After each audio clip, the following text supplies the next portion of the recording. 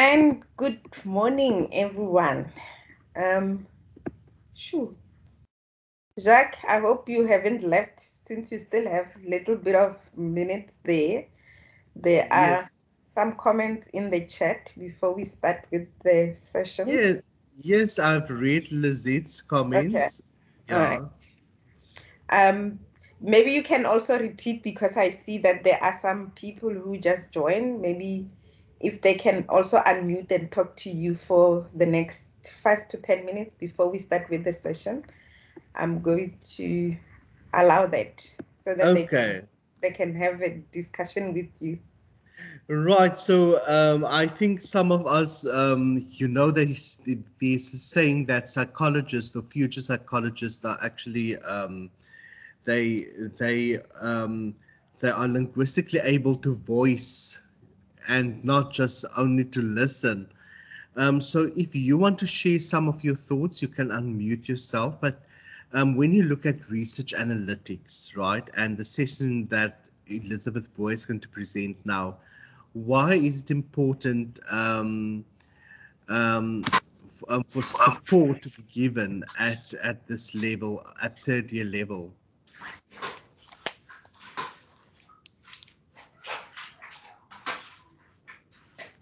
Is there anyone that want to unmute and just give us two or three sentences? Jacques, it's Lizette speaking. Hi, Lizette. A very nice response I've read, and I will consider that. Thank you, Jacques. Yeah. So, Jacques, on a third year level, so I understand the importance of the research, um, statistics, and analysis because if I'm going to do a survey or a questionnaire, say if I'm going to work in a school environment or I'm going to work in a company or wherever I'm going to work, and I need to do a survey on maybe stress, how stress is related in the workplace or how Yeah. stress is related.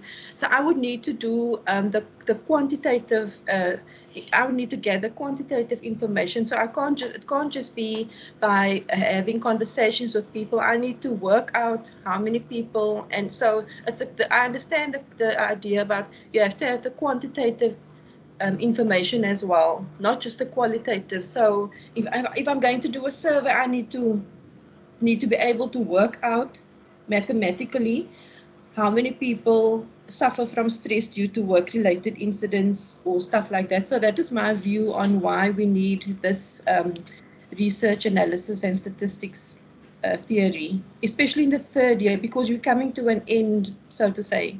Yeah, yeah. Thank you so much, um, Lizette, for that. I will really, really consider that and integrate that into my report. Is there anyone more? Um, Andrea? Simpson? Andrea?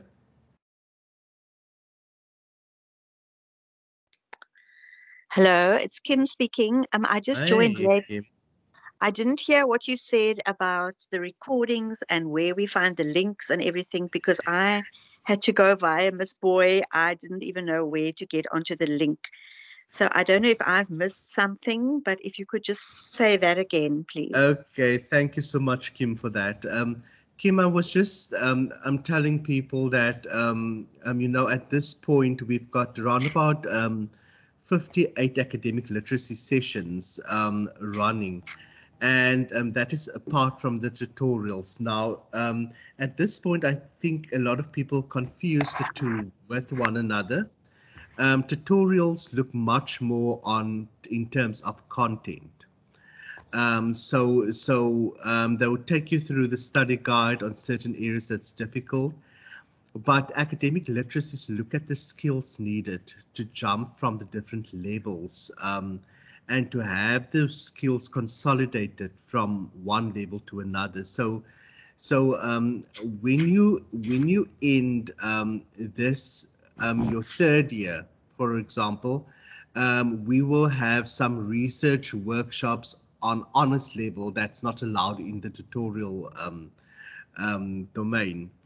Um, so, so, so in terms of um, academic literacy, a lot of people think that they are academically literate, which, which is right.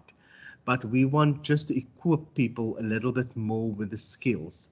So that's why um, we agreed, as from this year onwards, to um, to integrate research analytics And we can't call it research psychology or anything like that because then it will borderline what academics want.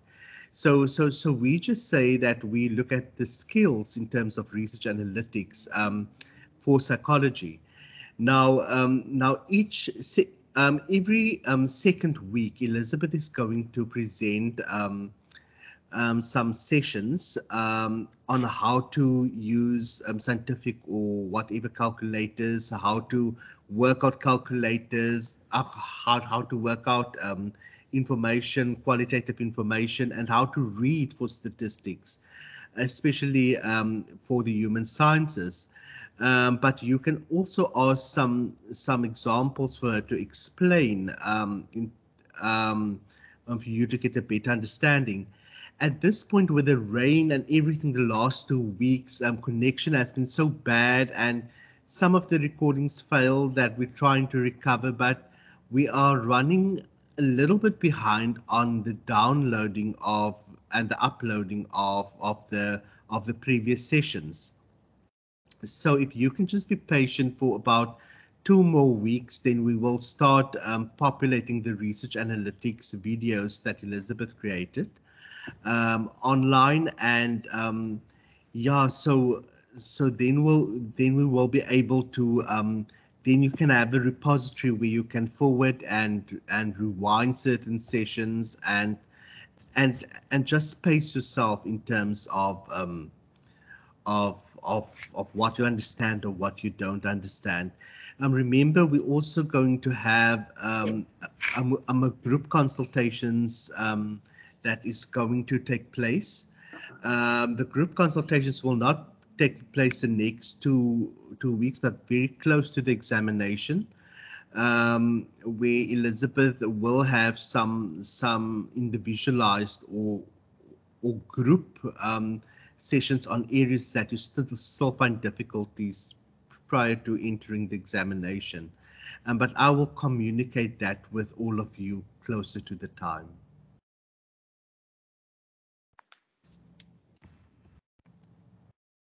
Um, Kim, I I know it was a very lengthy answer, but did you um what did it make sense to some extent?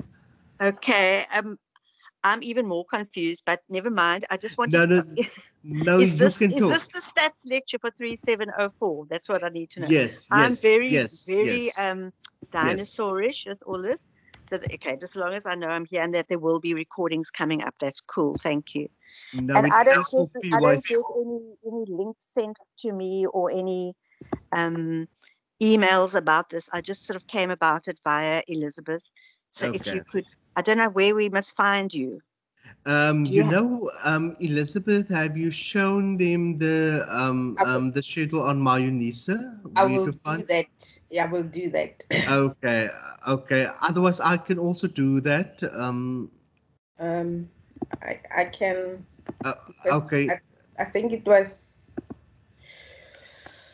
Oh, yeah. I, um.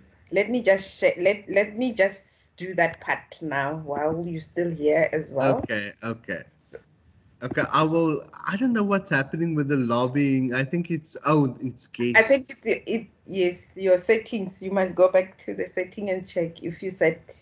I will do that. I will do that. Uh. but I'm now just admitting people. Um, but um, but this is a class for PYC three seven zero four. Okay.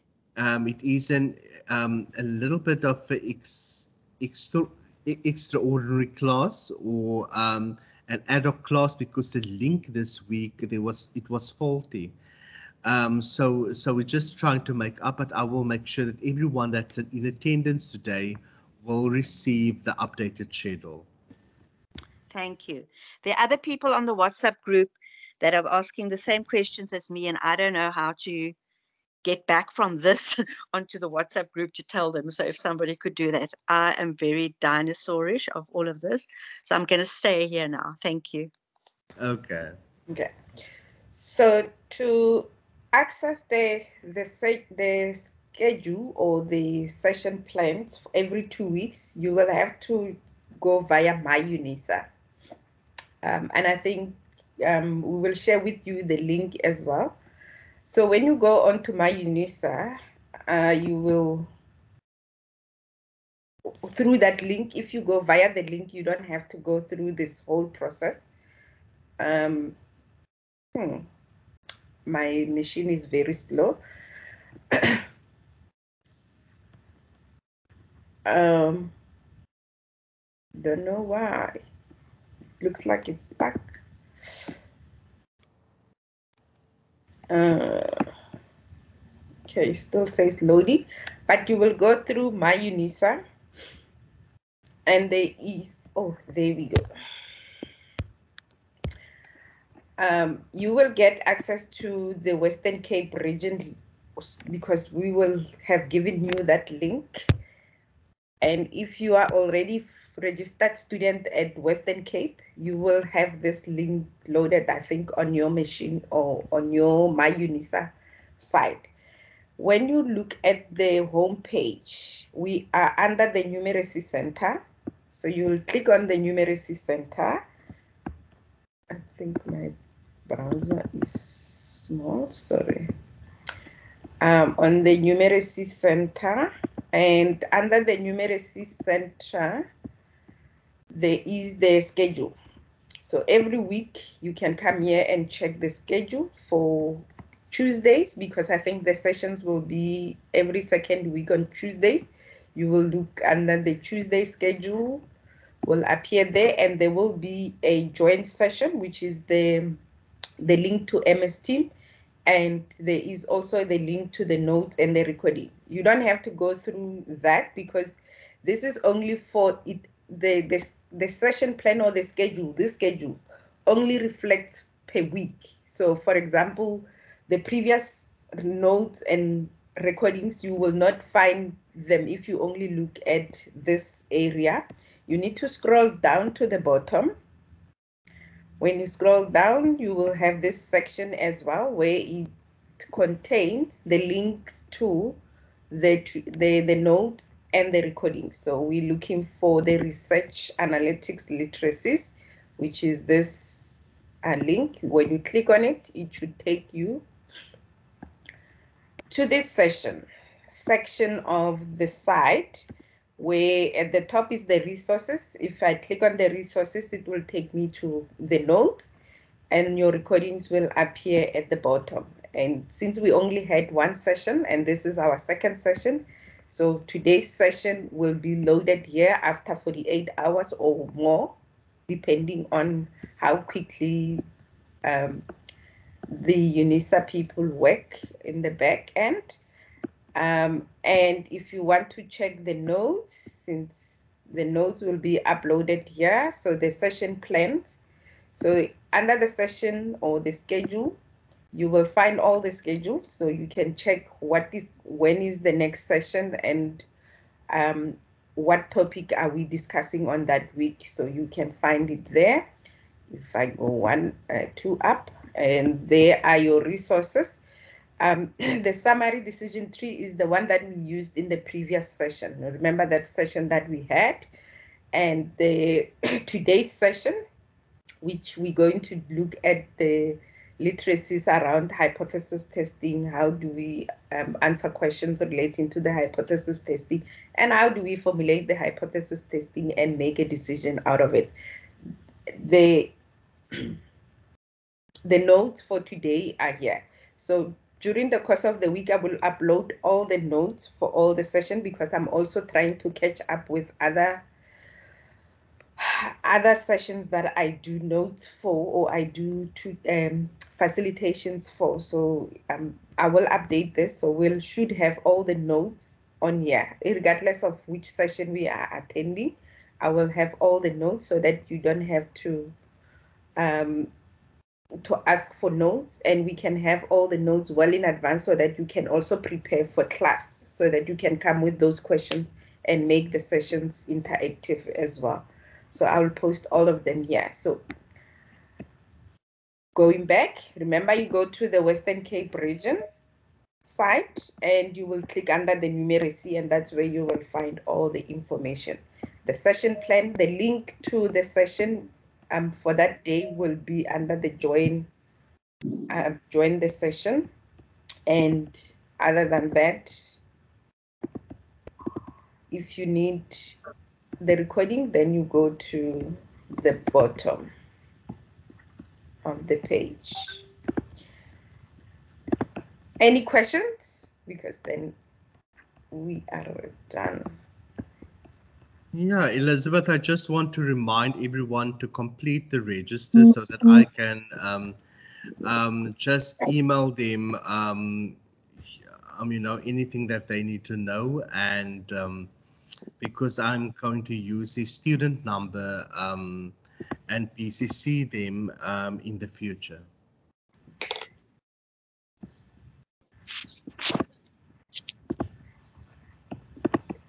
Thank you so much, Elizabeth. Would you be okay to handle? Um, may I leave? Okay, then all the best to all the students. Um, if you got any any questions or support, just reach out to us. Um, the CTNTUT, remember that is for learner support. Um, um, so all of your questions will will will, will um, be placed in my folder, and then I will just be able to respond to you. Thank you so much, Elizabeth. No problem, Jack. Enjoy your weekend. I will do so. Thank you. Keep warm and keep safe, everyone. Okay, so let's start with the session. So, welcome to your research analytics online session. Um, like I said, the session for July, we will have another session on the 20th, which is Tuesday between 6 and 8.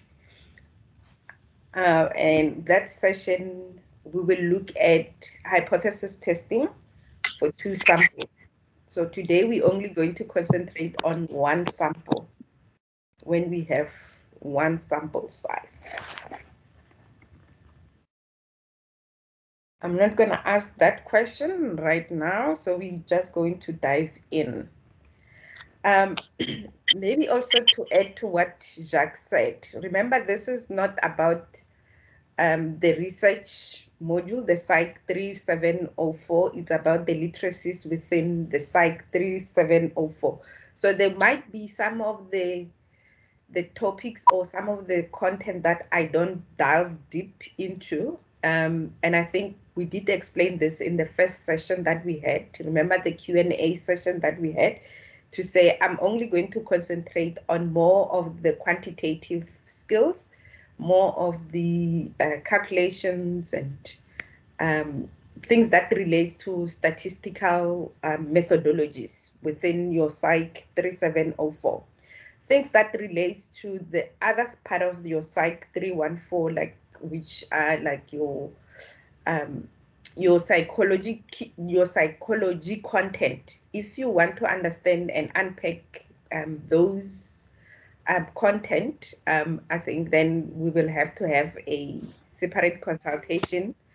Um, or you can consult your lecture as well with regards to those ones. So because also for me to also structure the the literacies, I need to find the challenging literacies or skills that are challenging within Psych 304 and not dwell too much in terms of your content of 3704.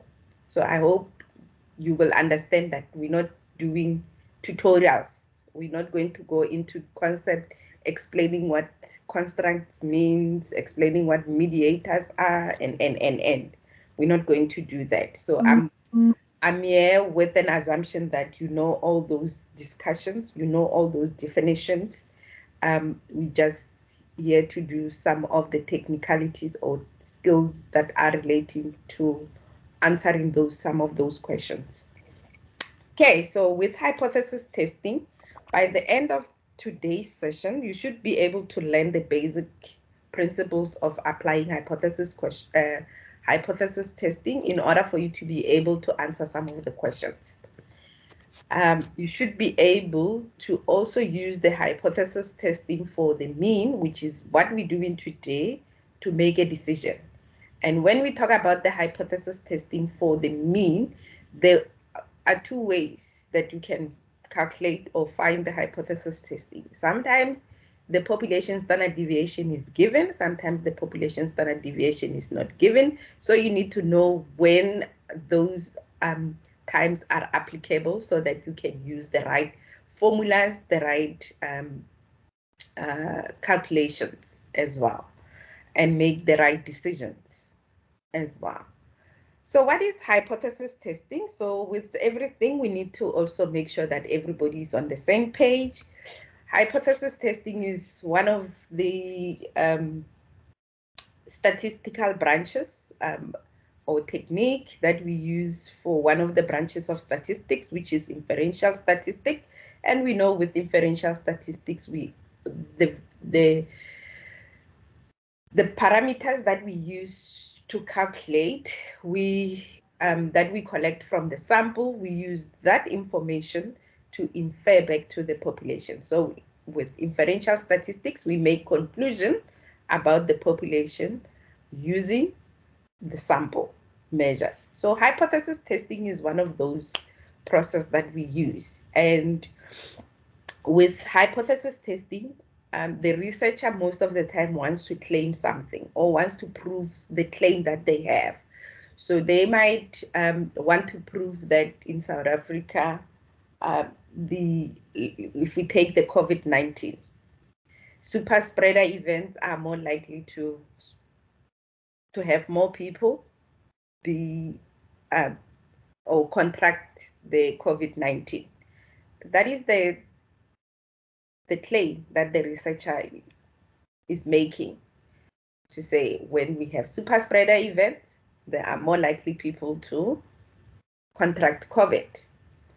We need to prove that because we cannot take it to face value. We need to prove that, and that is the role of a hypothesis testing. So there should also be another side of that story. It might be that what we need to prove is that the super spreader events are not so we're going to prove the opposite of what the researcher is claiming that should be the norm, and that is hypothesis testing.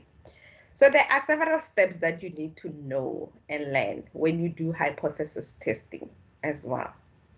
So when we do hypothesis testing, like I said, you the researcher has a claim, but there should be an alternative to that claim. So there should be a two side to that. And this is also the same as you are innocent until proven guilty. So they, you are, you have two sides of every story, and we know that saying. So once you stated your hypothesis testing, which will contain the the claim and the alternative of that claim, then you need to also know how you're going to make a decision what kind of a method you're going to apply to make those decisions.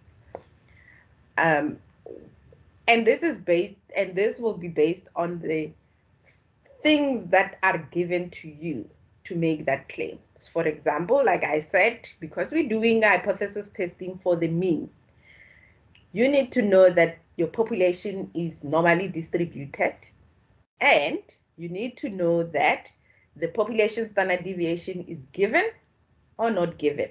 And if your population is not normally distributed, you need to know that you are given a huge sample size.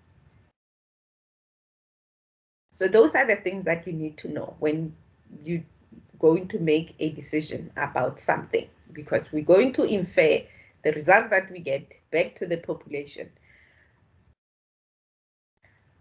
Once you know all those um, decision method that you're going to apply, then you need to calculate, you need to compute, you need to make sure that you create measures that can help you to make or reach those decisions because sometimes a numerical value can assist. One measure can tell a huge story. And once you have those measures, you can compare it with other measures. For example, we're going to calculate what we call the test statistic. Your test statistic is those measures that you calculate. Then you're going to find the p-value, which is your probability value.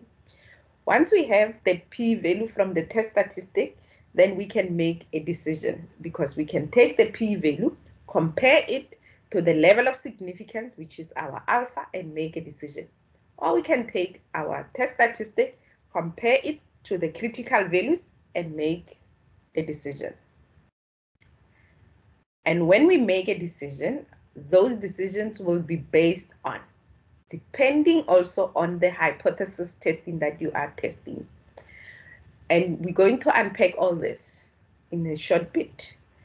So depending on your alternative hypothesis, which is the, the alternative claim of what the researcher wants to prove, depending on the sign that is located there. What I refer to in terms of the sign, we'll go into that later on, will assist with knowing what decisions you need to make, whether you're making a one directional decision or whether it's a two directional or two tailed um, decisions that you need to make. So the sign that you put in your alternative will tell a lot of or will assist with making a decision. And we're going to look at that shortly, as well as the p-value and the alpha value or the level of significance will also assist us in making the decision. So since we know the steps now, how do we make that decision? So making the decision, like I said, we can either reject or accept. Oh, we do not actually also say accept, but we can only say we reject or not reject. Reason being is we cannot accept something that we're not 100% sure of, but we can reject it or not reject it, but not uh, automatically say we accept it. So the only two words you will use when you make a decision will either be do not reject the null hypothesis or reject the null hypothesis. When we do or when we make a conclusion, we do not rely on the alternative hypothesis, but we make we make use of the alternative hypothesis to assist us to make a decision. But when we state the decision, we state it in relation to the null hypothesis because that is the claim that the researcher is making. Okay. When sometimes, let, let's put it this way, sometimes the researcher might say um, they want to claim that it is more than.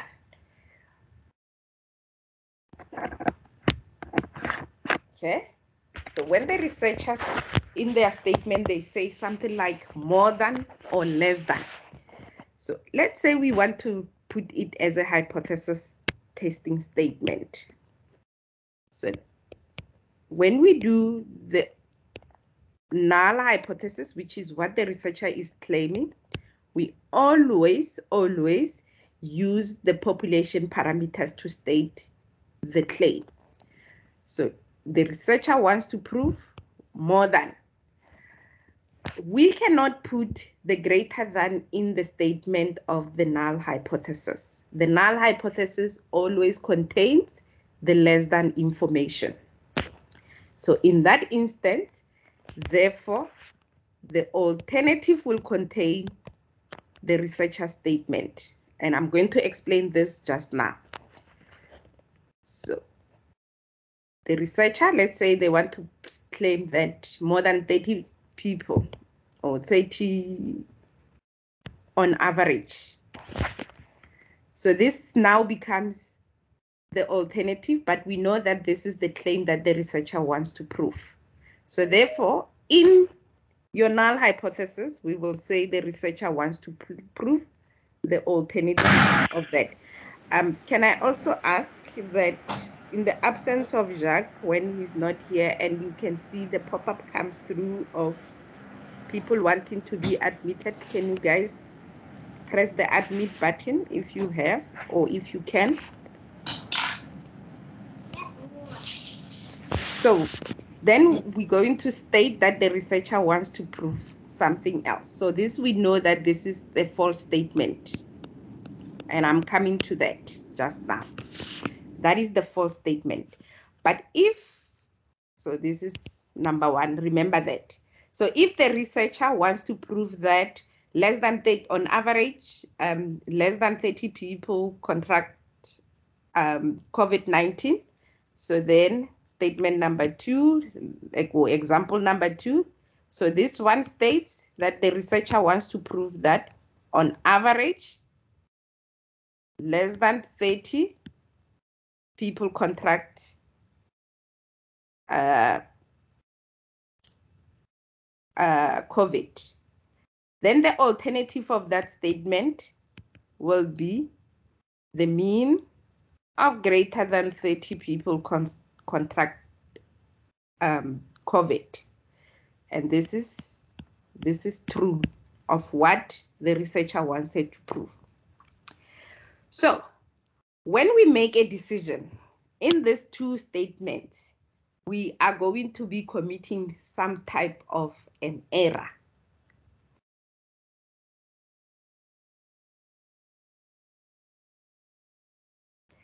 When we make a decision, based on those two statements. So let's say, for example, statement number one.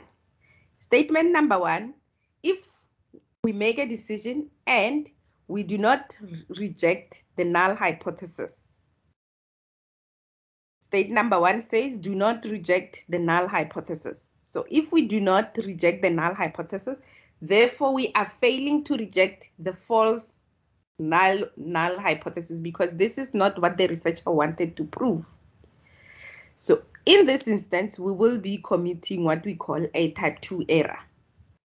Because in this instance, we need to be committing a type 1 error because we want we, we actually want to reject the null hypothesis and make the alternative true. But because we're not rejecting this null hypothesis, we are committing what we call a type 2 error. With statement number two, where this is what the researcher wants to prove. If we reject this null hypothesis on statement number two, we are committing what we call a type 1 error. And that brings me to this.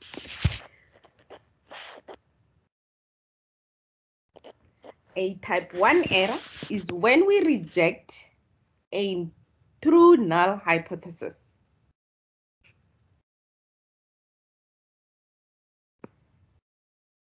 If we reject what the researcher is claiming, and that is the case that they stated that they claiming that, and we reject it, then we are committing a type 1 error. And that is the error that for all, most of the most of the hypothesis testing, when we fail to or when we reject the null hypothesis, we, we will be committing it it's a good error to use actually because it will give you the correct decisions that you have.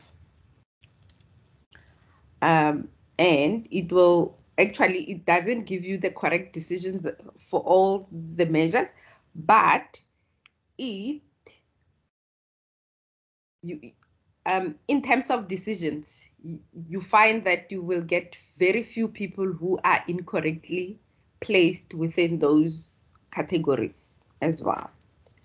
When we commit what we call a type 2 error, it is when we are not rejecting, we are failing to reject the false null hypothesis. Therefore, it means, if we go back to this, this statement will say we do not reject the null hypothesis. So this one will say we do not reject the null hypothesis, therefore we are committing a type 2 error. It is when we fail to reject the false hypothesis, the false null hypothesis testing. I hope by now you understand a little bit about the hypothesis testing.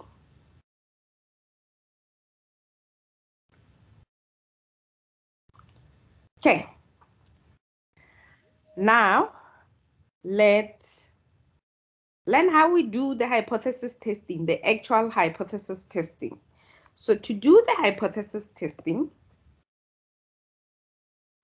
Remember, we need to state the null hypothesis. Remember the four steps. First step is to state your null hypothesis and your alternative hypothesis.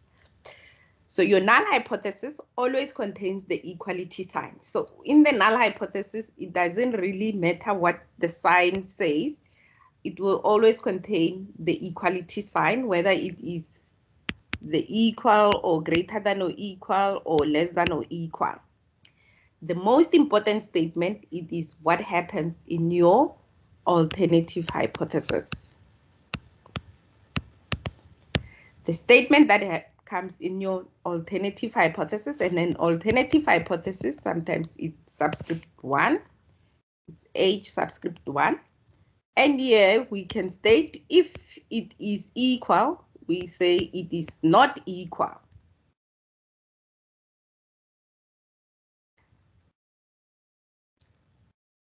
Sometimes we use subscript A, sometimes we use subscript uh, 1. Here are the statements for the null for the alternative hypothesis. So for an alternative hypothesis,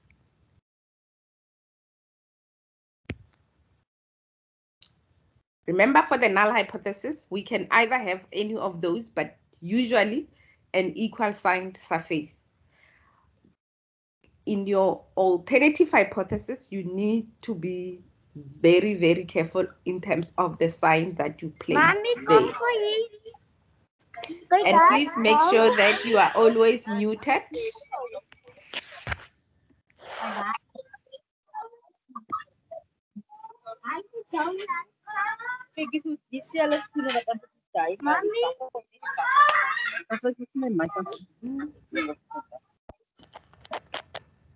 Elin, Elena, Elian, please make sure that you muted. And please, and please uh, switch off your videos. Let's see this now.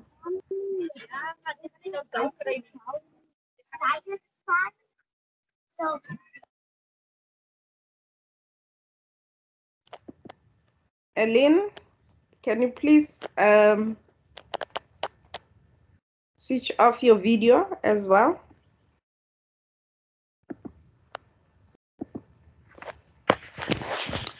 Okay, so in your alternative hypothesis, you go into state. If it's if the claim was for equal, then you're going to put not equal. And when you say it is not equal, then we are creating what we call a non-directional test or a two-tailed test because here we will have two areas where we make decisions. And with hypothesis testing, we always use the small areas.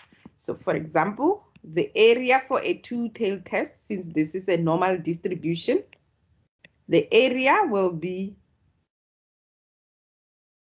those areas for a two-tailed test. You're going to make the decision based on those two areas.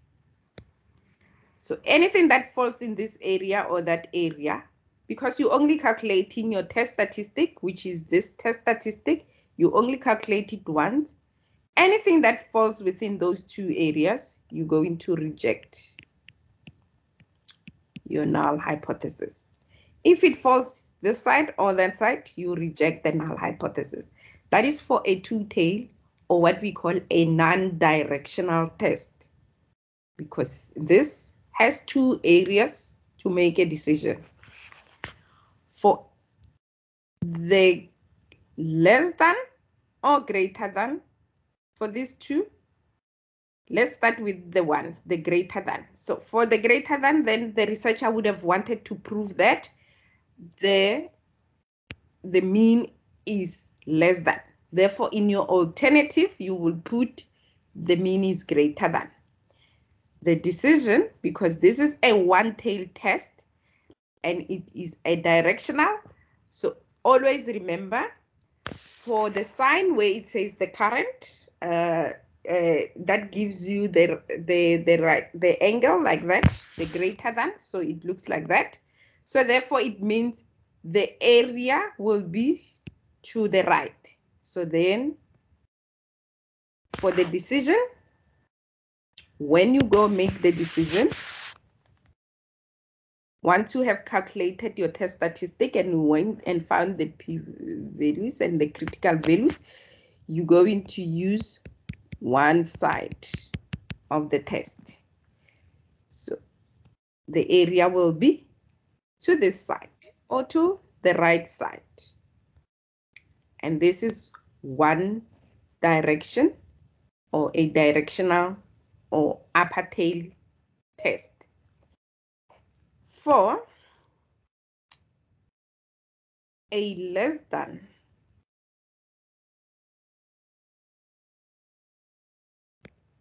for a less than, therefore, the null hypothesis would have been that the researcher wanted to prove a greater than or equal.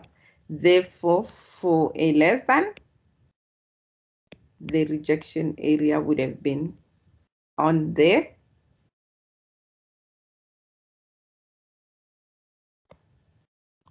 left side. So this will be your rejection area. And this is also a one tail test or a one directional test or a left or lower tail test or a left test. You can take many definition of it. So when we do the hypothesis testing, you need to remember to state your null hypothesis and your alternative hypothesis because they will help you in terms of making a decision.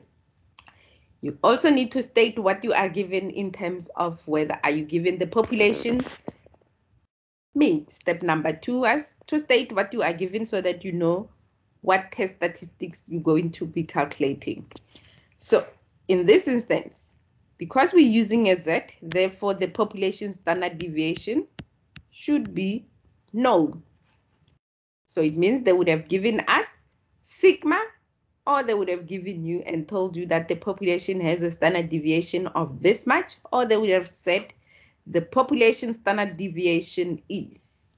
And then you can use your test statistics, which is the Z score or the Z value of your sampling distribution formula, which is your sample mean minus your population mean divided by the standard error, which is the standard deviation of a population. So is the population standard deviation divided by your sigma. And remember, this is for the mean when the population standard deviation is known. So we know that this is sigma bar, which is our standard error, is the same as our sigma divided by the square root of n.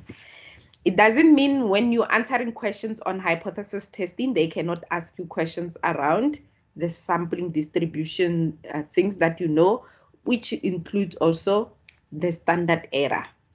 So you need to know that the standard error for the population mean it is the value underneath the line there, which is your population standard deviation divided by the square root of n. And we can, we're going to do some examples and then we can look at how we apply all this. And once you have your test statistics, then you can, you will know which test you are doing, then you can go and find the p-value.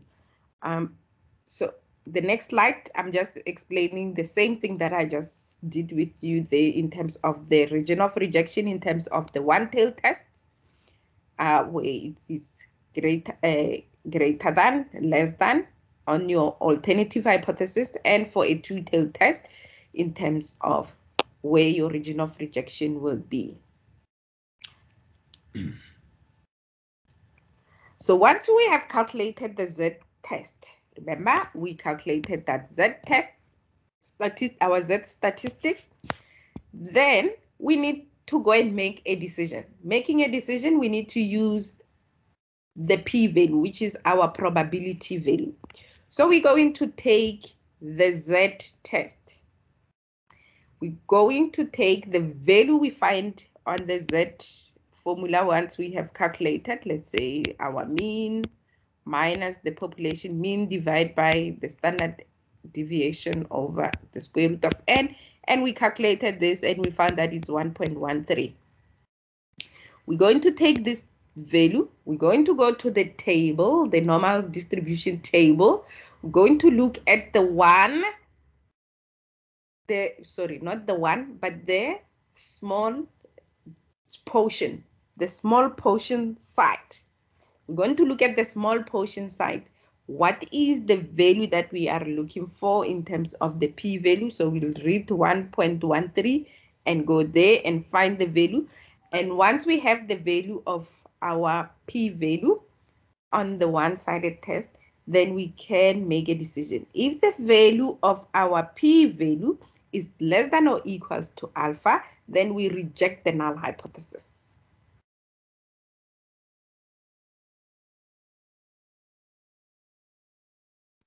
If the value of p-value, if it's less than or equals to alpha, then we're going to reject the null hypothesis. Otherwise, we go, do not have to reject the null hypothesis if it's greater than the alpha value. We do not reject. So it means if the p-value is less, we reject. If it's small, it must go. The smaller the p-value, or equal, small or equal, it must go. We reject the null hypothesis. We reject the claim that the researcher is making.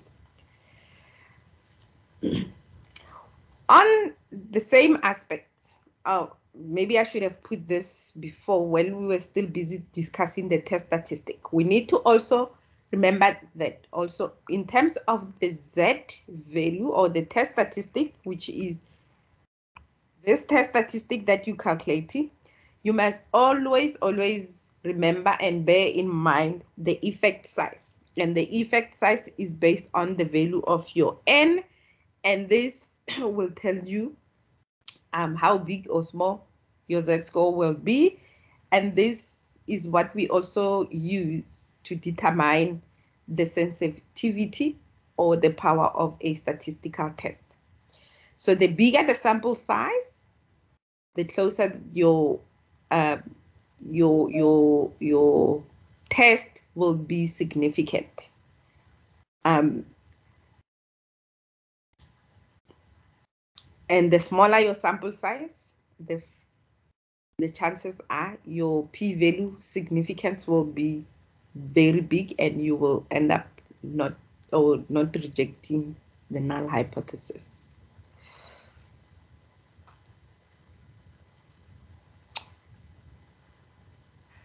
With that, we just covered when we are given the population standard deviation. The same method will still apply of the hypothesis testing, stating the null hypothesis and alternative hypothesis, stating what you are given because you want to know what test statistic you're going to be using and how you're going to make a decision. If the population standard deviation is not given, and your sample size or your population is small because you don't know the value of your population. If your population is so small that you can't even calculate the standard deviation of that population. So therefore it means in the absence of the population standard deviation, they would have given you the sample standard deviation. Therefore it means we're going to use the T statistic formula. The same, the null hypothesis alternative will still work the same, but the when we use the critical values, the challenge or the difference then becomes when we go and find the critical values, not the t values. And in your module, you don't have to worry about the critical value areas at this point, but the same concepts will apply. So in terms of the p-value for your t-test. In your module, they made it easy because it's very difficult to find the p-value for t-test. So they will give you the t-value. They will tell you that the p-value for t is this. but you just need to make sure that you know how to make a decision when you're basing it on the p-value as well. And similar, your null hypothesis and alternative will always stay the same. So what have we learned so far? What we've learned so far is if we do hypothesis testing,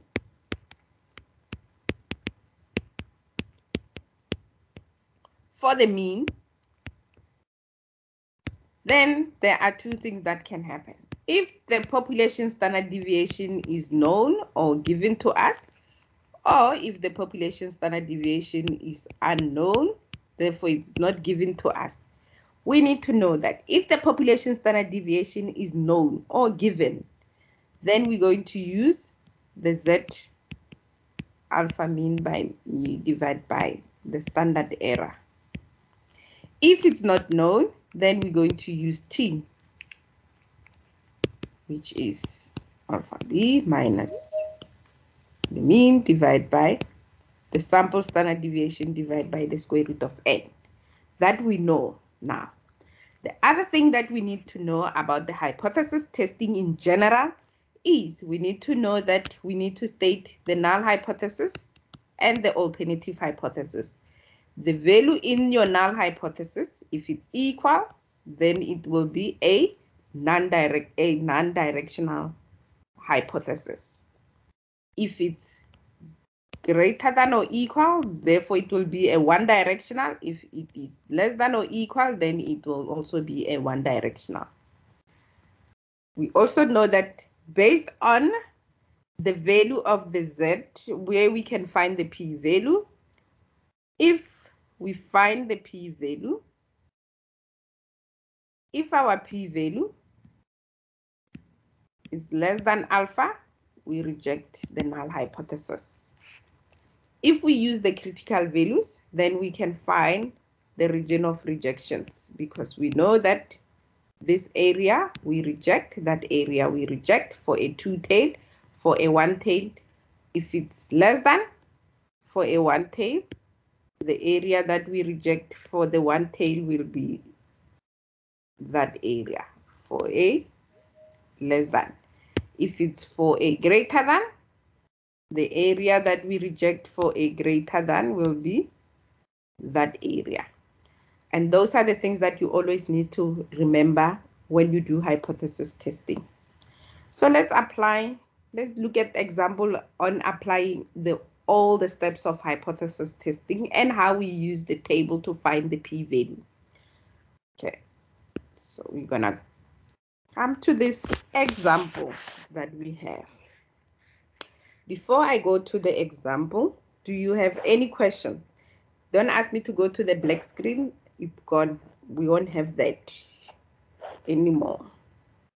Any questions?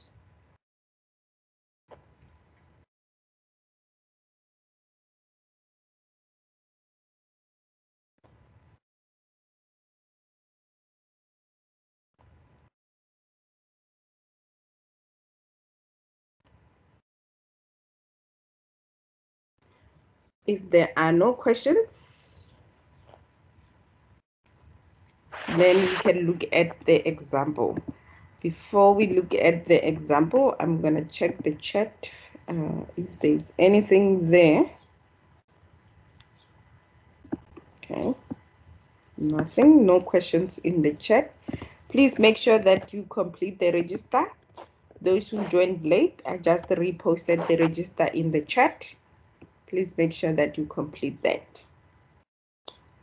Okay, let's look at this. So we need to read the statement and understand what exactly we are given in this statement. Identify the key elements that we will need to assist us in making a decision and then we will do the calculations and then make a decision. Okay, so Mmabatho, the social scientist, took a random sample of 30 adults with autism spectrum dis disorder, ASD, and found their reading time to be normally distributed with the sample mean and the sample standard deviation of 90 width per minute and 18 WPM respectively. Butlali and Mmabatho are collaborating to test the hypothesis that the mean reading of the adult with ASD is less than 100. Okay, so that was supposed to be less less than less than 100. Assume a 5% level of significance. So remember there are four steps of hypothesis testing. In your exams or your assignments, these questions might be, or the, the four steps might be a question on their own. Like they might ask you that uh, because you're writing multiple choice questions. So a um, the hypothesis testing will be a question on its own. A test statistic might be a question on its own. Decision making might be a question on its own. Standard error might be a question on its own. So you you just need to know the steps and know how to make a decision and how to get there in order for you to be able to answer all the questions. So let's start with the hypothesis testing. So we know that the first step is to state our null hypothesis and our alternative hypothesis. So reading the questions, what are we actually given in terms of us to enable us to read to answer the hypothesis testing question? It says they need to test the hypothesis that, that the mean reading of adults with ASD is less than 100. So it means we need less than a 100. Now, here is the catch. We know that the researcher wants to prove that it is less than, but we cannot put it in the null hypothesis. Where are we going to put it? We're going to put it in the alternative. So therefore, it means our mean reading will be less than a hundred. Therefore, whatever I put in the null hypothesis does not matter because I can just say it is 100. Um, or I can use the correct sign and say it is greater than or equals to 100. So in the in the null hypothesis, you can leave your null hypothesis as equal or or a greater than. It will not change anything. The most important one or the most important sign is the one that is sitting or located in your alternative hypothesis. So what are we given? So we need to go back to the statements above and state what we are given. We're given the sample size. So our n is equals to 30. We are told that found that uh, the, the reading time is normally distributed with the sample mean and the sample standard deviation. So sample mean, which means x bar, sample mean is x bar. Remember, all the Greek letters will represent the population parameters. All the normal letters um, of your um, alphabet will represent your sample statistics. So our sample mean will be 90 because it says sample mean and sample and sample standard deviation of 90 and 18 respectively. So the first one will be the sample mean, the second one will be the sample standard deviation. So since they give us the sample standard deviation and the sample statistic is S or the symbol is S, which is 18. Therefore, it means our population standard deviation is unknown. And when the population standard deviation is unknown, then it means we need to find, let's go to step number three. We need to go find our test statistic, which is T, which will be your x bar minus your mean divided by s divided by the square root of n. Before I go calculate this, actually, we need to go back to the top one because what I didn't do there, I I needed to also state what type of a test then will this be. This is a directional test. And it's also a lower one-tail test, or you can say it's a one-directional test, um, or a tail, a one-tail test, or a lower limit test, and so forth. So, okay, so now let's calculate this. I'm going to show you on my calculator, depending on what type of a calculator you have as well. So let's substitute the values. So here we have 90 minus the population mean, which is your mu, is always going to be stated in your hypothesis testing, which is 100 divided by your standard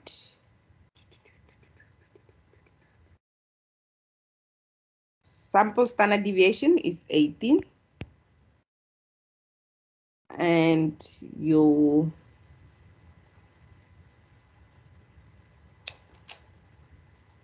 sample size is n divided by the square root of n is 8. So depending on the type of a calculator you have, so since I have a different calculator to use, I'm going to share my entire screen. I'll come back to to the presentation shortly because I want to share my calculator.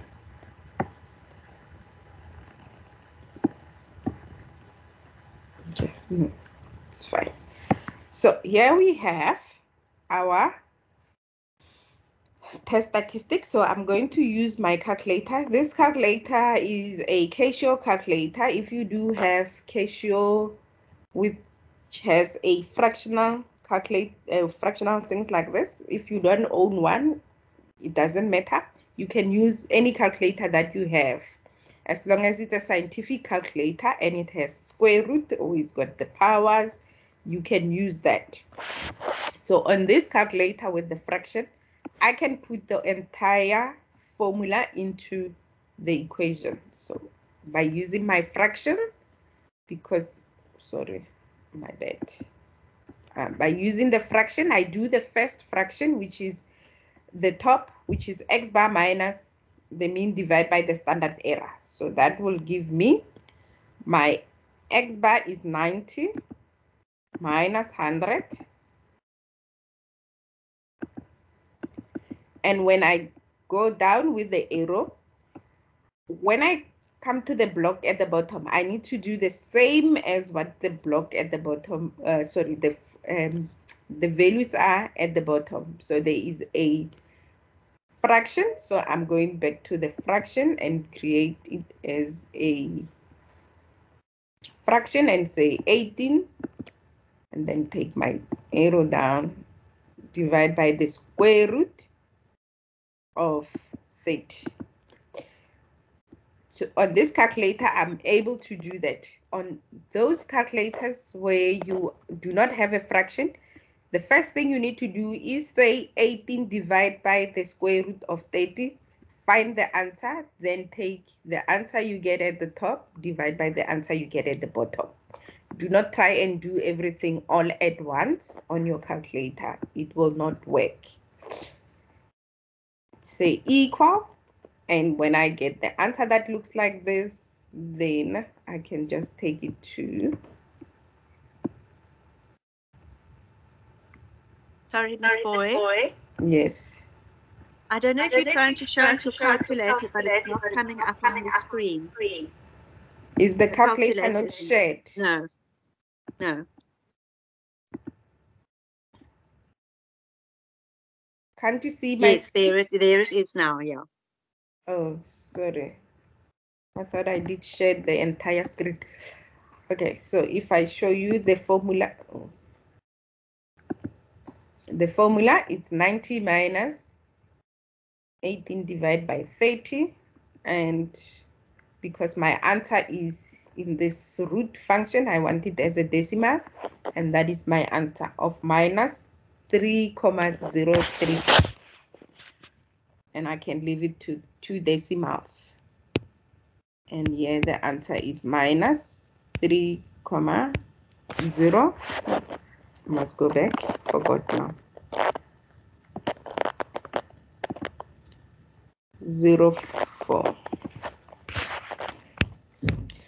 Okay, so because this is a T calculations, I cannot do the P value. I cannot go find the P value even if I go to your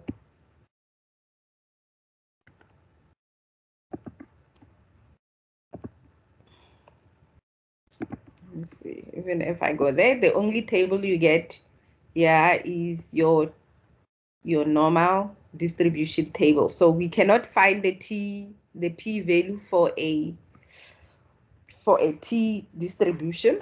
Uh, you can only find it when you when you use a statistical uh, software. So i'm not going to do the p value on this question. Um, I am also not going to use the critical values because you do not have the table to find the critical value. I'm going to leave it at that because I'm going to assume for your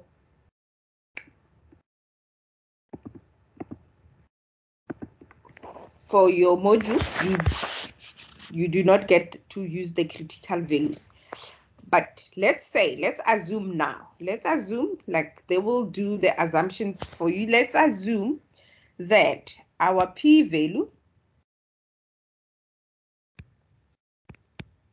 let's assume our p-value in this instance is 0 comma 0 0 3 let's assume that our p-value is 0 comma 0 3 now we need to make a decision. So number four we're going to make a decision because we need to, if this was Z, we would have used the Z value to go to the Z table and go find the P value. So now we don't have the P value. Let's say this is our P value. So we need to make a decision. A decision, so the de decision rule, remember the decision rule states that if the P value is less than alpha, we reject the null hypothesis. That is the rule. So let's make that decision now. What is our p-value? Our p-value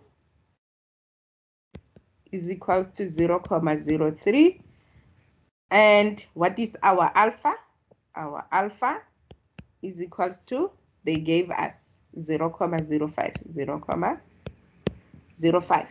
Is this bigger than, is this greater than or less than? So this will be less than because we know that 0, 0.03 is less than our alpha of 0, 0.05. Therefore, we reject the null hypothesis. So we, we can say we reject the null hypothesis in this instance. What you have learned from this is you should be able to know how to state your null hypothesis and alternative.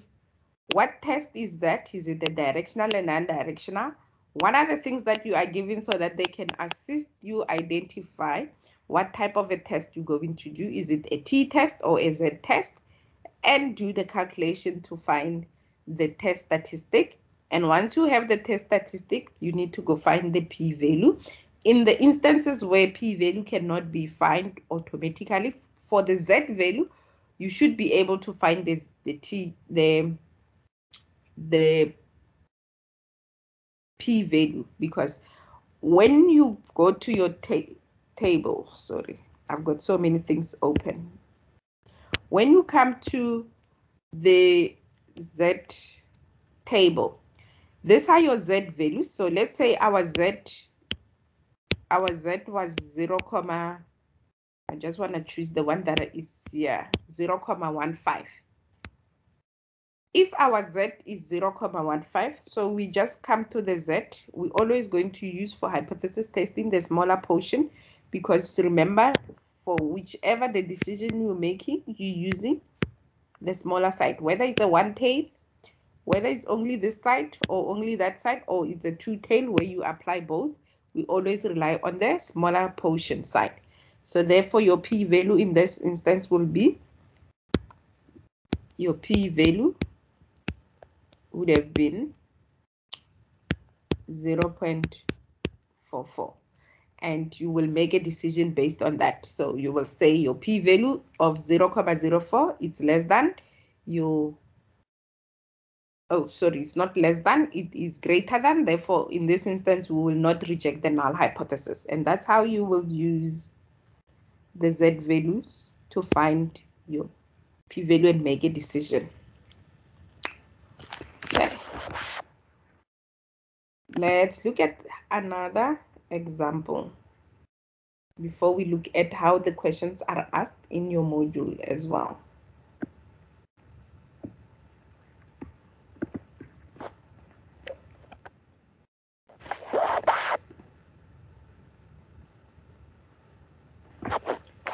Okay.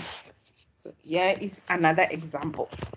So on this example, they ask if a sample size of n 20 is selected from a normal population, the sample mean of 58, the population standard deviation of 12. Suppose that the e-tutor wants to test the following hypothesis. Your hypothesis is mu is equals to 55 and the hypothesis mu is equals to 50, not equals to 55. So step number one done for us, the null hypothesis and alternative hypothesis are stated. So we do have our null hypothesis. The mean is 55, the null hypothesis or alternative hypothesis. The mean is not equals to 55. What type of test is this? Now, here, me and you, we're going to answer this together. What type of test is this?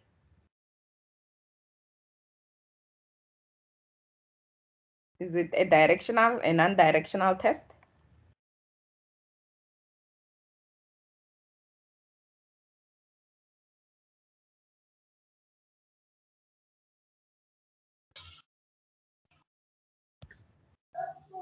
Non-directional. Yes, it's a non-directional test. Um, can I just give me a sec? Uh, when my screen is shared like this, it doesn't I struggle to find my pen.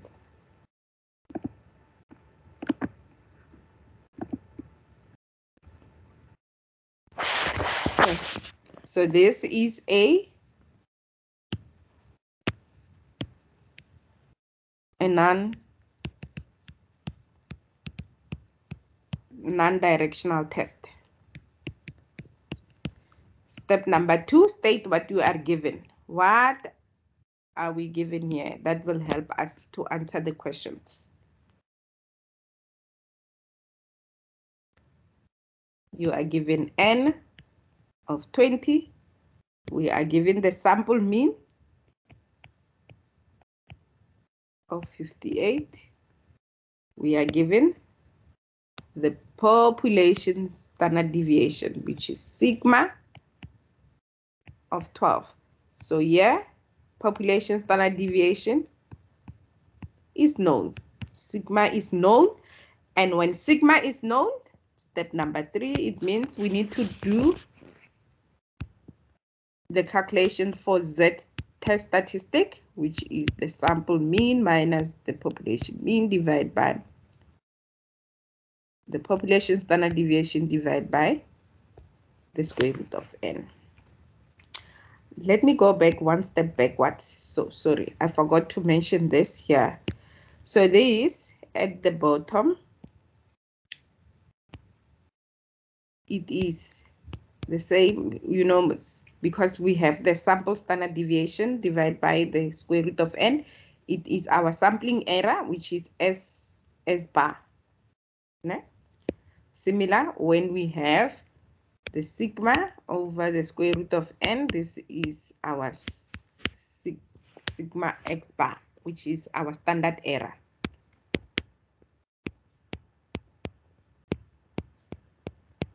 So, which is our standard error. So now let's substitute the values into the formula and calculate. Our x bar is 58 minus our mean always given in the null hypothesis and alternative, which is 55, divide by our standard error.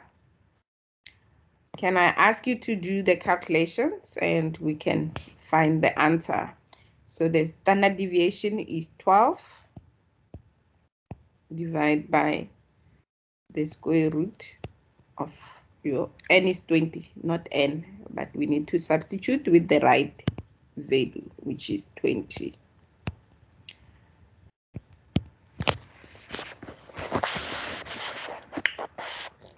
Can you do the calculation and give me the answer?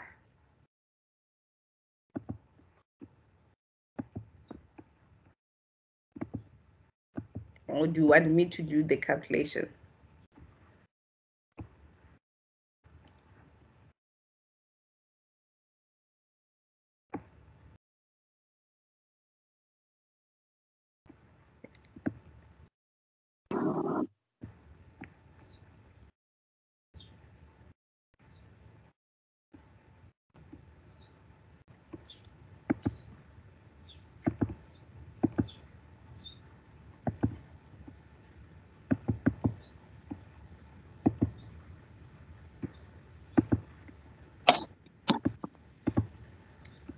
Do we do you have the answer? No?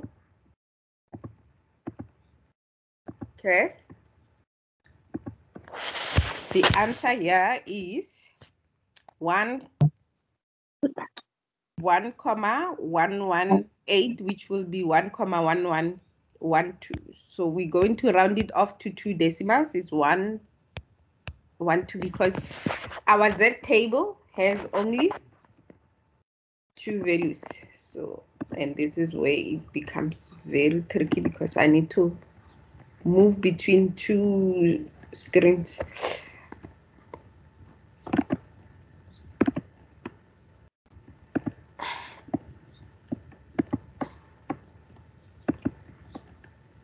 Are you able to see the table?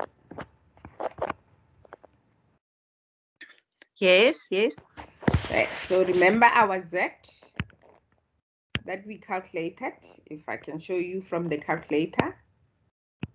So 58 minus 55 divided by 12 divided by the square root of 20 gives us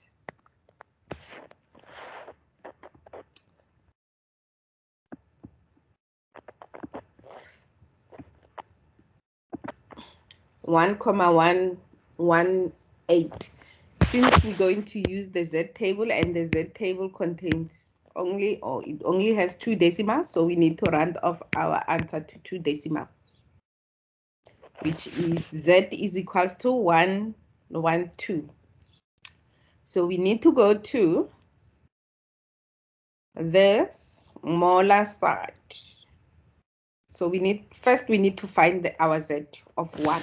So you'll have to scroll to the one, we're looking for one, one, two which is right?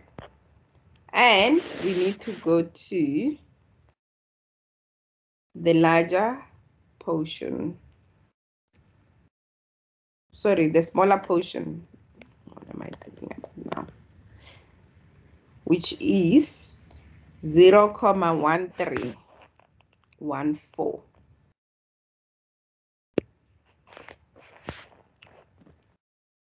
our p value is 0 comma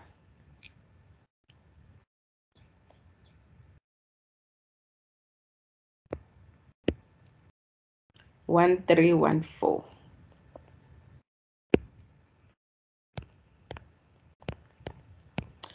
Okay, so now we need to be very careful as well because this is not a one directional. So what we have found so far, we have found one side. We have found because this is two directional. So it means it has two uh, two regions. So even this will fall within two areas as well. So this will be 0, 0.1314 and 0, 0.1314. We'll have to split it into two.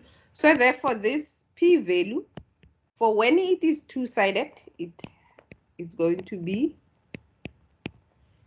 it going is going to be twice the size of one-sided one-sided p-value. So it's going to include both of both sides. So therefore, for a two-side, our p-value will be equals to, so we need to add both. So it will be 0.1314 multiplied by 2 because it's the same as adding both.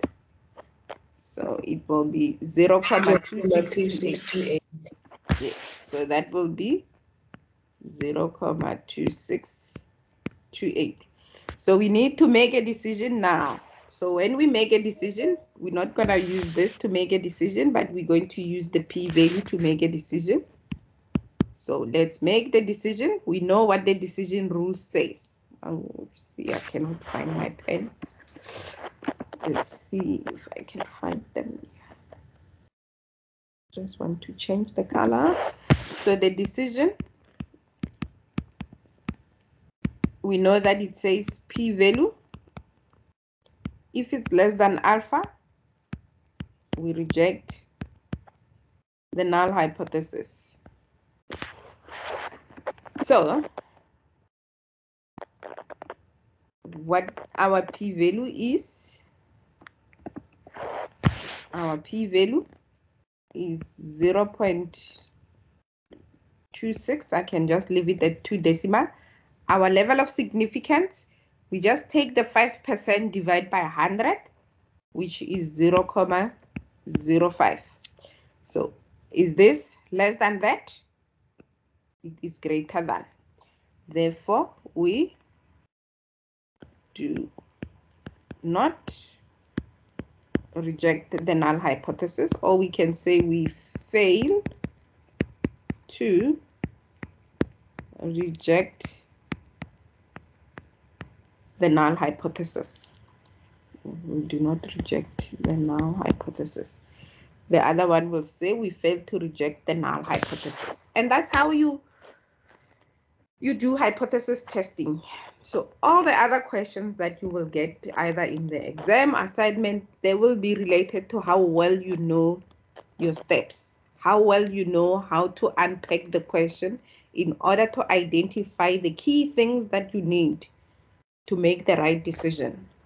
Like when your population standard deviation is given or is not given, whether you need to use a Z test or a T test whether if it's a one directional test, you only go, if it was a one directional test, let's say it was a less than, we could have just used one 0, 0.1314 and made decision based on that only. But when it's two directional, your p-value will be, because it's for both sides, we add or multiply. And that is why with the p-value, you need to know that for a one directional, it's a p-value, uh, it's a two-directional p-value divided by two. And if it's a one direction, if it's a two direction, it is one direction multiplied by two. Um, and that's all what you need to know about hypothesis testing. So now, for now, let's scan through some of the questions. um, if we get time, then we can go through some of your past exam papers, but the discussion should not stop here. We can have these discussions because you are on WhatsApp. We can continue on WhatsApp. So I've picked um, on Tuesday when we were going to do that, I picked some of the questions and I put them on on the slides as well from the exam papers. So um, uh, we're not gonna go through the the exam paper. So I I started from this one from the 2009. In, if we can find time, we can do the others. So I used most of the questions. They come from this exam paper. Uh, you will see that also I just did a copy and paste. So don't be surprised when you see the blocks. Okay, so let's look at the exercises. So this this is where you need to discuss with me because then I do not I I've been speaking a lot and now it's your time to to speak. To speak. To speak. A researcher wants to test the hypothesis that the mean depression score on a oh sorry the other thing before I continue. Um if it's an exam paper or anything I do put there at the top to to show you um where did I get that question so that you do not have to ask me that at the later stage where did I find this or where can I find this? So you should be able to identify where what is where everything is at a researcher wants to test the hypothesis that the mean depression score on a depression scale for a patient diagnosed with clinical depression is greater than 120. The statistical hypothesis to be tested is this. They stated there statistical hypothesis. Bear in mind the sign you see on the alternative hypothesis. It's very important. She uses a random sample of n equals to 64 drawn from the population of diagnosed patients and finds that the mean, the sample mean equals 127 and the sample standard deviation S is equals to 24. Which of these values below is the closest to the correct value of S S bar? What is that? What is X S X bar?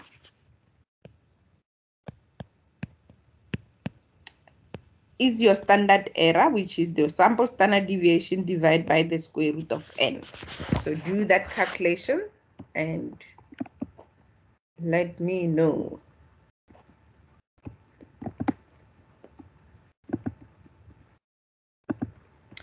And if you have any questions, I just want to go back to the screen. This one.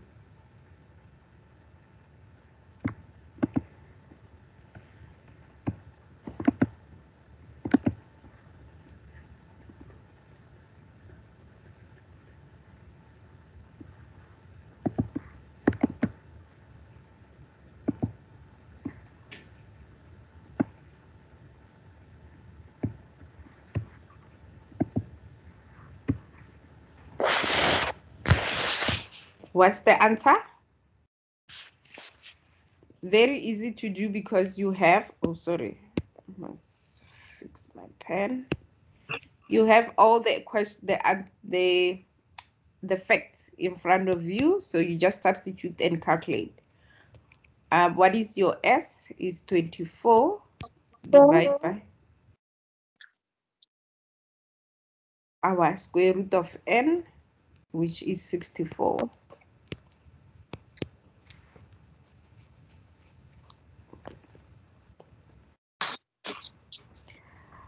And if you don't know how to use your calculator and do some of the calculations, please speak now. Do not be left behind.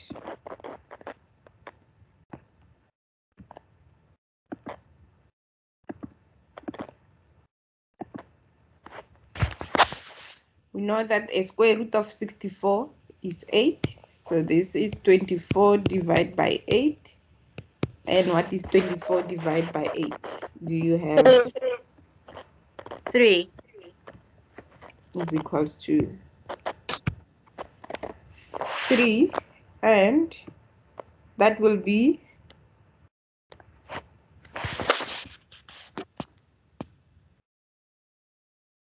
option number Two. Option number Option number two. Yeah. Yes. Okay.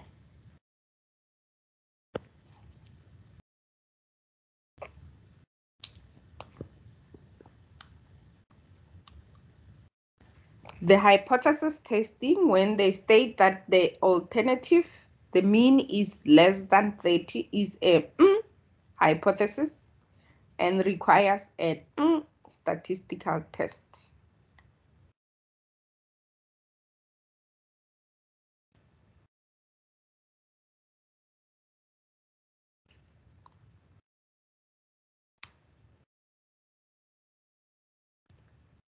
What is this?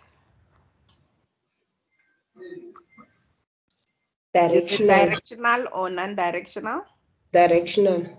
So a the mean is a directional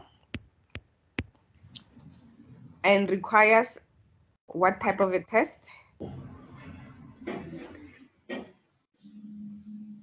Is One-tailed. two-tail or a, it's a one one tail test? Ten. So which makes that the correct answer. When applying a statistical test, the p-value represents the probability of obtaining the Hmm? Does it represent the probability of obtaining the sample statistic under the alternative Does it represent the population parameter under the null hypothesis? Or does it represent the sample statistic under the null hypothesis?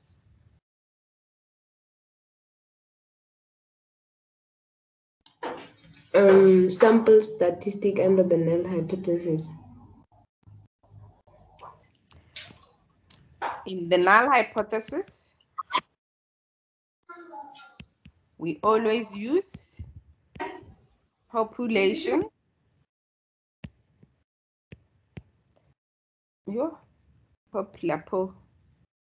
We we always use population parameter in the null hypothesis. So everywhere where they have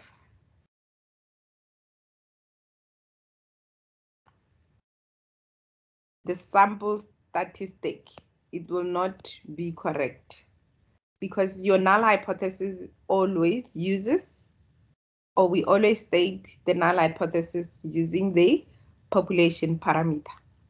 Even though when we're doing the calculations, we use the sample statistics to assist us to find the value or make decision, but we are basing the area underneath the curve will be for the population parameter because we use the population mean.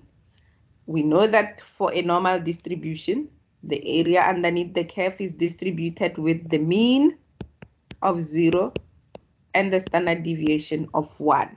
It's always, always the population parameter.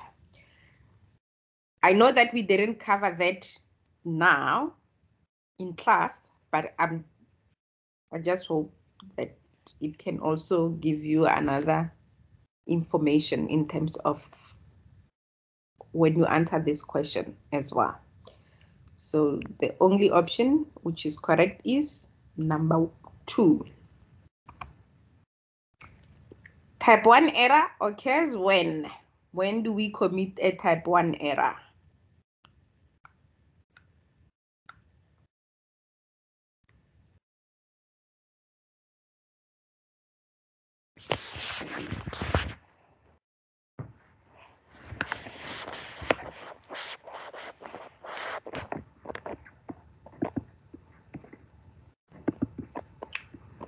When do we commit a type 1 error?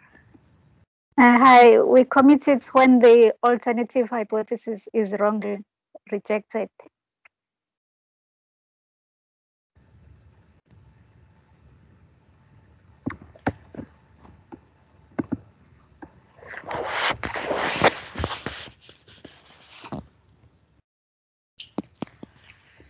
You are half half right, half Hello, I say it's the first one when the null hypothesis is wrongly rejected. Yes, it is the first one. We commit type 1 error when we reject the true null hypothesis. So it means when we reject the hypo their, their hypothesis wrongly. But it's not purposely, but it's just it means that we are rejecting the claim that the researcher is making. This says we when we're not rejecting it. So if we're not rejecting it, we then it's fine. Um, if we re, if we reject the false hypothesis, then we're committing a type 2 error. So which also you need to also bear in mind that we don't even when we commit a type one error type 2 error we don't always also refer to the alternative because when we make decisions we conclude with or we use the null hypothesis so when when you answer questions like this do a process of elimination in terms of things that you already know for example, this should have been an automatic one, and then you are left with two statements. Then you have a 50-50 chance of selecting the correct statement. Now I'm bringing you to the probability questions uh, chapter. So then you have the two. So, but this is because of that not makes it incorrect. So that is not correct. That is not correct. Okay, so moving on next so this question has a couple of questions linked to it as well.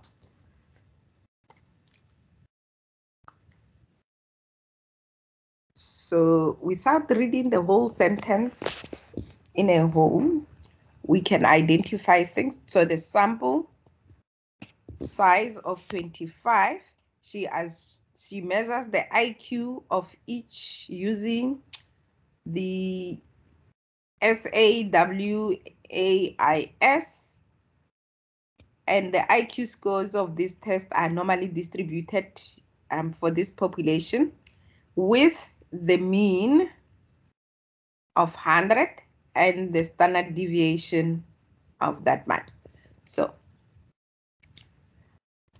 suppose she finds that the mean IQ of her sample is this and her standard deviation is that.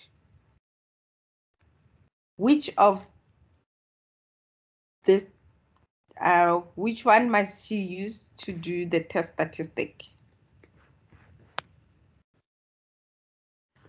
Uh, which is the appropriate test statistics to calculate?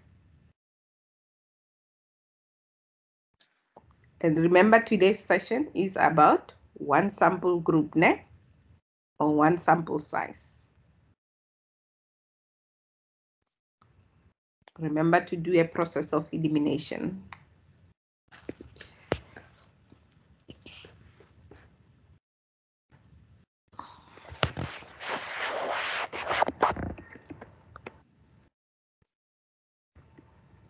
Which test statistic?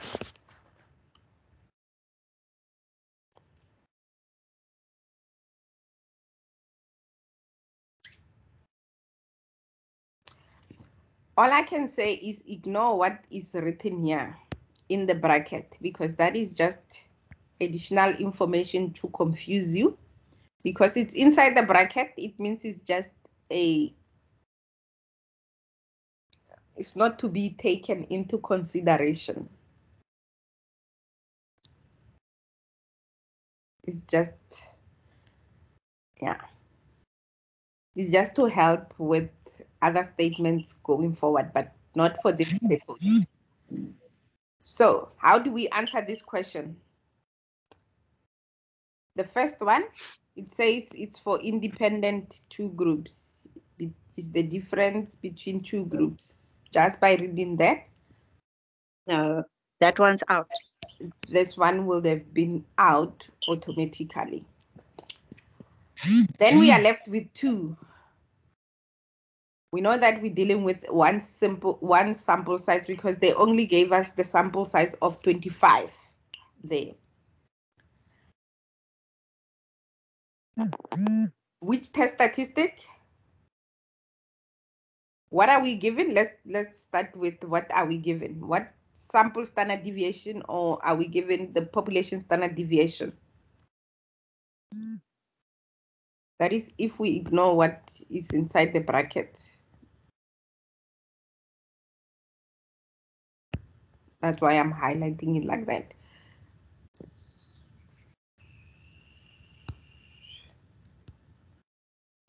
Suppose have sample is the mean, suppose the mean of a sample is this and the standard deviation is that. So it means the sample standard deviation and the mean and this the, the sample mean comes from that sample.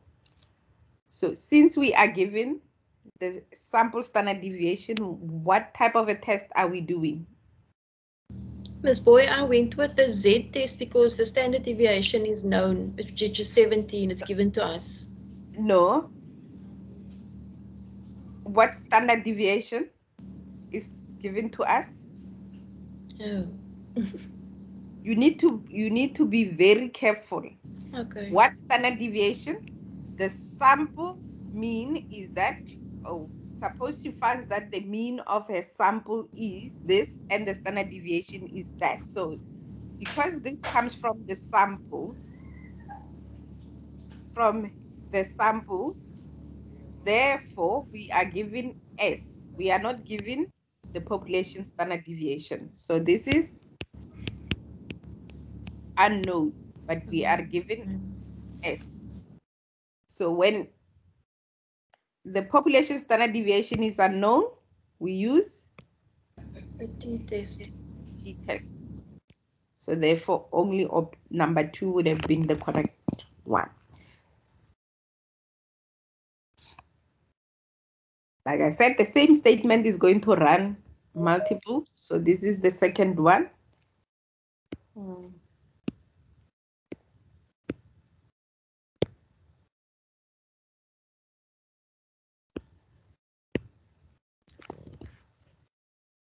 What are the requirements with regards to the type of statistical test that may be required to interpret the results? So here they're asking you whether is this going to be a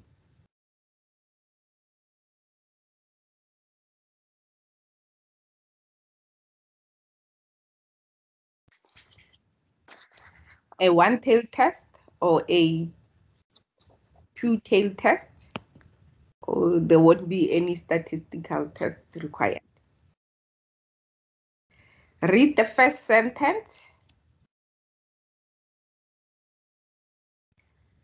Read the first sentence. That will give you the key in terms of what you need to, how you going to state your hypothesis testing.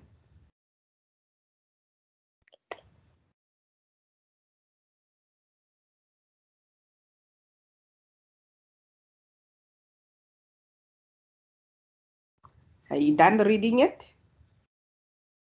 I um I think it will be a two-tailed statis- statistical test because we are comparing uh, young adults to their peers. Okay. Do you see where I've I've put the blocky? The less than I- means for Yes. Are you still do are you still sticking with your two tail? I say one tail because it's less than that less word for me is a signal that we're gonna use the one tailed. If I'm- Yes. That should be the key for you to know whether are you going to do a one tail or a two tail. So it says less intelligent, uh, less than. So those adults are less than their peers. So that will tell you that you're doing a one-tail test. Yeah. So you need you need those keywords that will help you. If they would have said um, a researcher um, hypothesis that babies born prematurely will somehow be different to their peers, then it would have been a two tail. If they say they are more likely, more more than their peers, then it would have been a one tail with, uh, but a, um, it would have been a one directional, but a left or sorry, not left right or upper tail area or tail test, something like that. So this part tells you that it's a one directional. Okay, so moving to the next question. We left with five minutes, uh, and I think, let me just, before you answer that question, let's see. Oh, sorry, I only had two questions. But if we're not done, it doesn't matter. We have the WhatsApp group. You can always ask questions there. We can always carry on the discussion on the WhatsApp group. Um, a researcher wants to test the following hypothesis. And they give you the null hypothesis and the alternative hypothesis. On the basis of the data provided, the output from the program indicates that the t-value of t equals to 1.72 was found. And they calculated the p-value. So you see here, they used a computer program. They are able to calculate the p-value for a two-tail test is given as such. So they already, so here they already combined the, the two values. So it's a two-tail test, p-value. What should the researcher do to evaluate the result of the level of significance at this?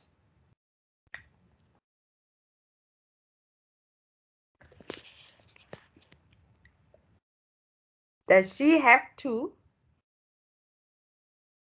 the first one, two, three statement is saying she needs to manipulate this. The last one says she needs to make a decision.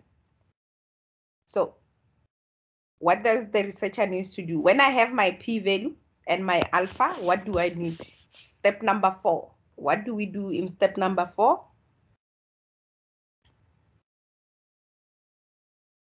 Of the hypothesis testing, we make decisions. So the question is asking you the same thing. What should the researcher do to evaluate the results at the level of significance alpha of 0, 0.05?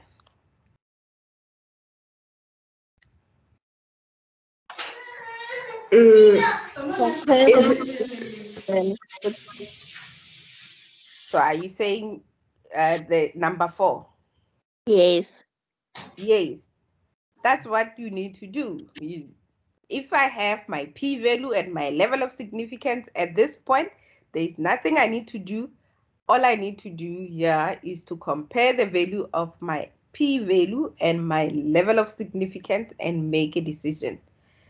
I don't have to do the division and multiplication and calculation. I would have done the multiplication, division, all those if they gave me a two-tailed, but the the the hypothesis was a one directional test. So if here, if the test here was a less than, let's say, for argument's sake, which option you would have chosen?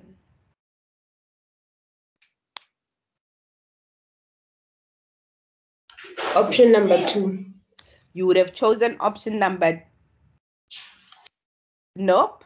It wouldn't have been option number two. You would have chosen option number one because before you do anything, you would have evaluated the to evaluate this, you need to take the two-tail test value divided by two because this is a one directional. and then make a decision. So probably they wouldn't have had to compare the value of p value because this is a two-tail test. You would have taken this two-tail test. In order to create a one-tail test, you will take your two-tail, divide your two-tail test, divide by two to find your p-value of a one-tail test. In order to find a two-tail test, you take a one-tail this is equal one one tailed tailed p-value and you multiply it by two to find the two-tailed. So those are the things that you need to remember at the back of your mind when you answer questions like this, because they can be a little bit tricky. Um, but for this purpose and for this question alone, they gave you a two-tail because it's a two-tail. They give you a two-tail test p-value all you just need to do is take the p-value and the alpha and compare them and make a decision. I'm not going to do this, so you can go and answer this on your own. And if you still lost, you can chat on WhatsApp. Let's continue the discussions there. Just to recap, because I need to jump off this meeting and go to another meeting, which started right now at half past. Just to recap, um, we learned the hypothesis testing that you need to know how to state your null hypothesis and alternative. The alternative hypothesis is very important because the sign you put there will tell you what type of a test you're going to run. We learned that you, how you make a decision and we know that we make a decision based on the null hypothesis. We either can reject or not reject the null hypothesis. We learned how to make a decision based on the p-value that we can calculate the test statistics and find the p-value and make decisions based on that p-value. And if the p-value is less than the alpha, we reject the null hypothesis. You also learned that in order for you to calculate that p-value, you needed to calculate the test statistic. But for the t test, you do not, uh, you will not be asked to calculate the p-value. But for the z test, you can be asked to go find the p-value on the table, or they can ask you questions about the p-value. So you just take the test statistic, you go to the table, you look for the z value, and you go to the smaller portion Eh, to find the p-value. You need to know that if it's a directional test, you you just use the p-value as you find it on the table. If it's a non-directional, which is a two-tailed, then you're going to do um, the value you find on the table, you're going to multiply it by two, or you're going to add it to itself, and that will give you your p-value, and then you make a decision. And that's all what you have learned today. So next week, or not next week, because next that other week on the 20th, we will look at how we do hypothesis testing for independent groups or when we have two groups. With that, enjoy the rest of the weekend. Um, I apologize. I'm not going to be able to answer questions at this point because I need to go to another I've got a tutorial class right now. Thank you, Ms. Booi. You are Thank more you than very welcome. much. Appreciate it. Thank you so much. Yes, those who joined late, please Thank you, remember to complete the register. I'm going to repost it in the chat. Remember the notes are uploaded as well. I will upload the notes for the other sessions so that you can also see what other th- topics we're going to discuss for the future as well. Um, otherwise, enjoy the rest of your weekend. Thank you. Bye. Thank you. Bye bye. Thank you. Bye bye. connection. But I was inside here, it was, it was on. Check it was on when I was here inside. I'm sure we got the that ones that were where we stopped. No. It won't. del- It may delete the whole thing. Yes, it, it's not recorded.